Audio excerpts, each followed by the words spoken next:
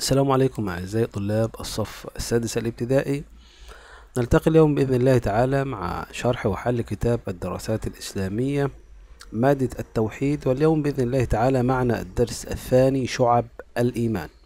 كنا في الدرس السابق تكلمنا عن الإيمان وأركانه وحكم منكره. اليوم بإذن الله تعالى سوف نتحدث عن شعب الإيمان.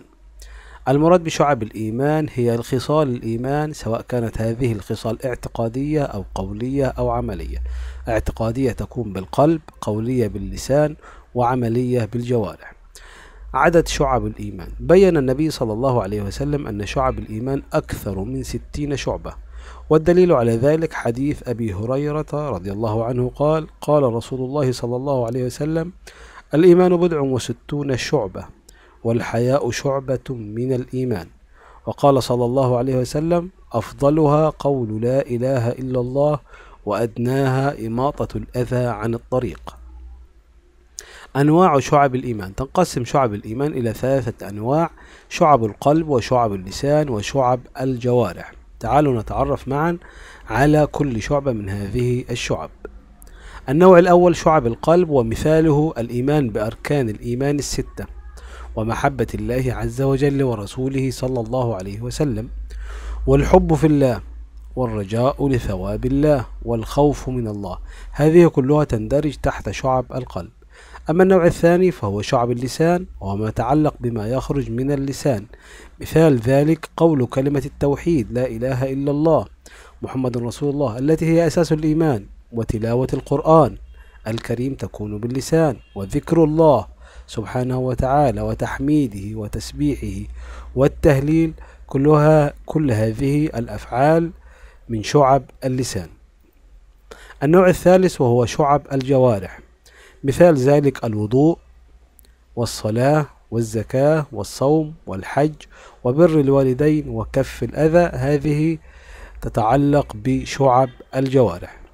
نعمة الإيمان نعمة الإيمان من أجل النعمة التي يمن الله بها على من يشاء من خلقه وأعظمها. قال الله تعالى بل الله يمن عليكم أن هداكم للإيمان إن كنتم صادقين. نشاط واحد أكمل الخريطة بما يناسب شعب الإيمان كما قلنا تنقسم إلى ثلاثة شعب شعب القلب وشعب اللسان وشعب الجوارح. شعب القلب وتشمل على خصال الإيمان الاعتقادية. مثل الخوف من الله الحب في الله الرجاء لثواب الله. وفي شعب الجوارح خصال الإيمان العملية وفي شعب اللسان خصال الإيمان القولية كما قلنا من خصال الإيمان الاعتقادية التي تتعلق بالقلب الخوف من الله عز وجل الحب في الله والرجاء لثواب الله وأيضا محبة الله.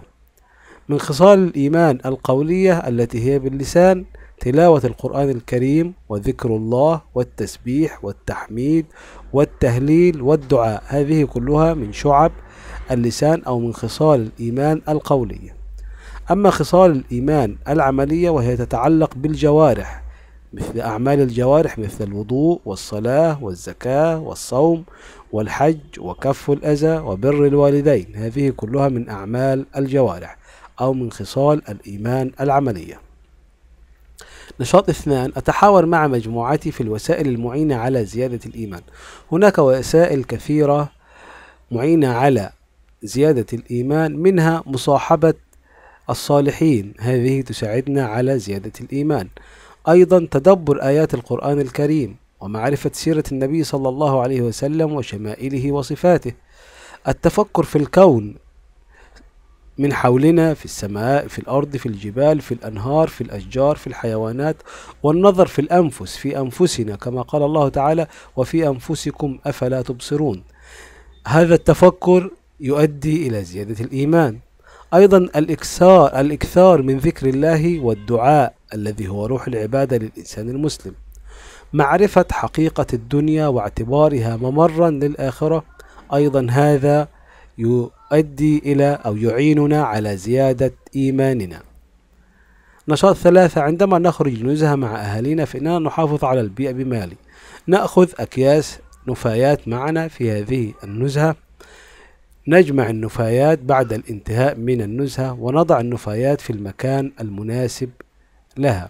كذلك نحافظ على البيئة بالمحافظة على المرافق العامة الموجودة في هذه البيئة أو في هذه النزهة. ننتقل إلى التقويم. والسؤال الأول عرف شعب الإيمان. شعب الإيمان هي خصال الإيمان اعتقادية أو قولية أو عملية. وكما قلنا الاعتقادية متعلقة بالقلب والقولية يا أبنائي متعلقة باللسان والعملية متعلقة بالجوارح. السؤال الثاني كم عدد شعب الإيمان؟ كما بين لنا الرسول صلى الله عليه وسلم أن شعب الإيمان تزيد على ستين شعبة أكثر من ستين شعبة.